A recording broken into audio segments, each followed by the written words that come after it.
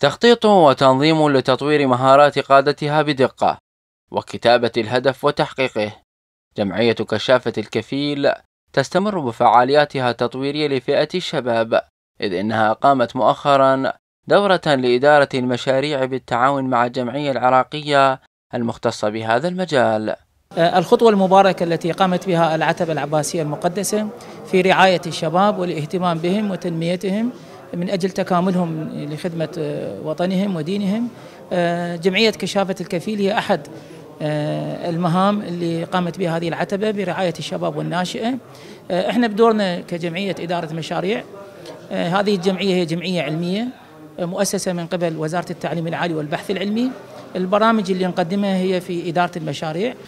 تسعى جمعية كشافة الكفيل من خلال هذه الدورات إلى إعداد قادة فاعلين ومؤثرين ونحن اليوم في دورة مهمة أه، دورة إدارة المشاريع. هذه الدورة راح تمكن قادتنا في جمعية كشافة الكفيل من كتابة البرامج والمشاريع اللي راح يكون من خلالها نستطيع أنه نحقق الأهداف الدقيقة لكل مشروع اللي تصب من خلالها تحقيق آه، الرؤية الخاصة بجمعية كشافة الكفيل وتحقيق الأهداف المنشودة من خلال هذه الدورة.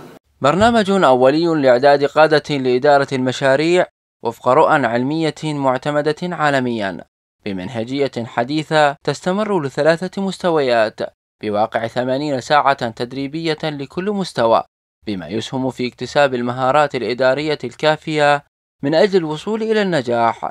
في إدارة الأعمال الموكلة إليهم.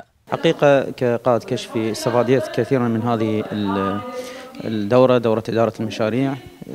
تعلمنا منه أنه شلون ندير مشروعك بشكل جيد أه، تحصل على إنتاجات جيدة أه، بشكل مدروس. أنه شلون من عمليات البدء إلى آخر العمليات اللي هي عمليات الإغلاق في آه، آه، إدارة مشروعك.